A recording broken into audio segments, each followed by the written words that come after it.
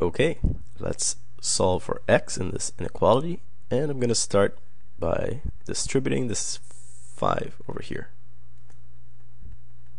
Just copy everything else first. 5 times x, 5x. 5 times negative 7, negative 35. Smaller or equal to 3x minus 4. Then I can just subtract 3x from both sides of the inequality and also add a 35. Just do it all in one step. Oh wow, that was not really straight, was it?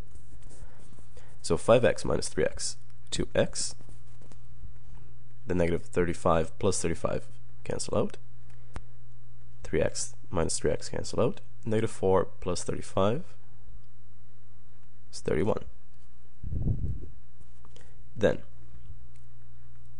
both sides by 2.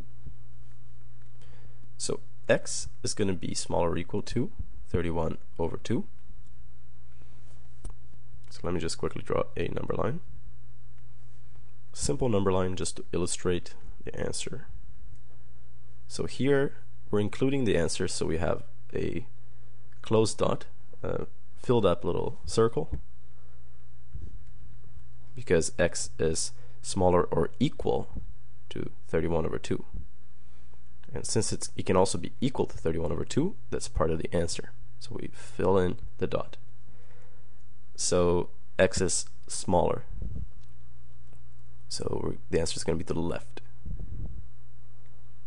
That's it. That is our number line.